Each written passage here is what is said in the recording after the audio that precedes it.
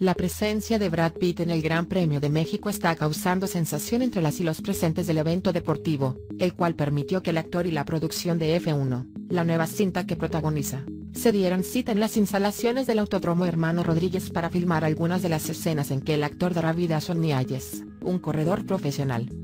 Vestido con el clásico mono ignífugo que los corredores usan como traje, el actor estadounidense ya ha sido captado por asistentes del Gran Premio de México. Brad sostuvo entre sus manos la bandera de nuestro país, mientras saludaba a la audiencia que, extasiada, aplaudió su presencia en la pista.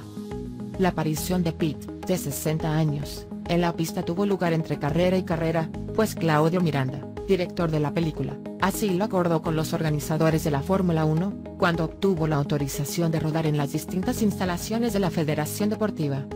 El ganador al Oscar, por mejor fotografía, dijo a Variety que para que la película tuviera un toque de autenticidad, era importante grabar con audiencia real, situación por la que parte de la trama será filmada durante las carreras. Otras de las ciudades en las que se han grabado parte de las escenas son Abu Dhabi y Las Vegas.